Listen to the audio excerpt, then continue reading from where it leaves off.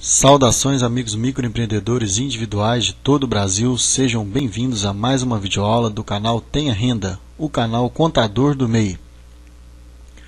Hoje eu vou ensinar a vocês como consultar a sua restituição de imposto de renda pessoa física. Vamos lá então. Primeiro passo, acesse aí o seu navegador de internet preferido. É, a gente vai acessar o nosso site www.tenharenda.net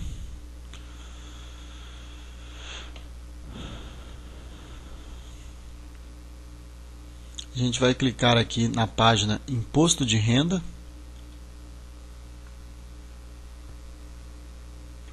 E vamos rolar até o final dessa página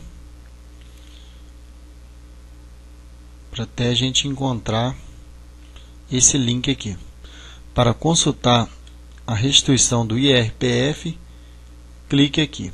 A gente vai dar um clique e já vai ser redirecionado para a página de consulta de restituição da Receita Federal. Para fazer a consulta, você precisará somente do CPF do declarante, é, que você deverá digitar aqui nesse campo. Esse outro campo aqui você vai escolher qual o ano que você quer consultar. Você pode consultar de 1999 a 2015, que é o ano que a gente está atualmente. Eu vou dar um exemplo aqui de 2014. Então vou clicar aqui em 2014 e vou digitar o CPF do contribuinte. Aqui embaixo a gente vai digitar os caracteres anti-robô e vai clicar em consultar.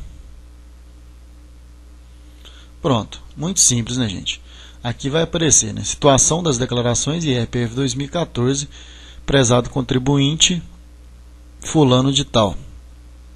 Vai aparecer o nome da pessoa e aparecer o banco, né, onde a restituição dele, onde ele optou né, por receber a sua restituição e vai aparecer a situação da restituição, que nesse exemplo que eu estou dando para vocês aqui, ela já foi creditada e ficou disponível né, a partir de 15 de outubro de 2014.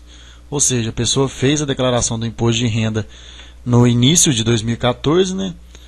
E, e quando foi no dia 15 do 10 de 2014, ela já estava disponível para ser sacada na conta bancária que o contribuinte escolheu. É, agora eu vou dar um outro exemplo para vocês. Vou clicar aqui em voltar, só para vocês verem. Vamos é, consultar agora uma restituição de 2015. Mais uma vez, digite os caracteres anti-robô e clique em consultar. Eu quis dar esse exemplo aqui é, de 2015. Nesse caso aqui, desse contribuinte, ele não tinha é, restituição para receber. Porém, é importante é, fazer essa consulta aqui para você verificar se a sua declaração já foi processada.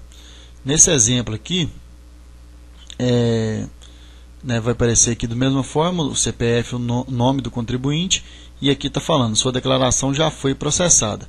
Isso significa, gente, que a declaração não, que a Receita Federal não encontrou nenhum erro nessa declaração, porque ela foi processada.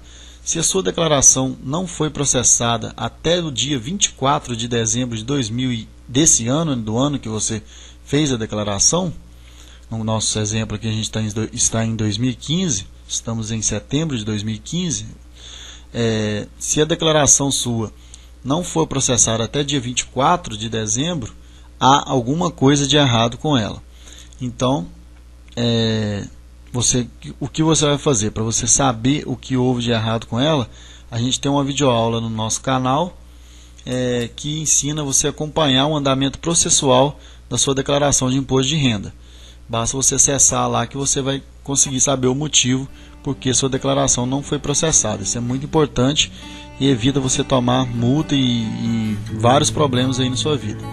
Nesse exemplo aqui, né, no dia 27 do 9, 27 que é o dia que a gente está fazendo a, a consulta, está é, constando que a declaração já foi processada. Beleza, gente? Espero que vocês tenham gostado dessa videoaula. Peço a vocês que curtam a nossa fanpage no Facebook, me sigam no Twitter e inscrevam-se no nosso canal e clique em gostei caso você tenha gostado da nossa videoaula, você tenha achado que seja, essa videoaula foi útil para você. Beleza, gente? Um forte abraço, fiquem com Deus e até a próxima.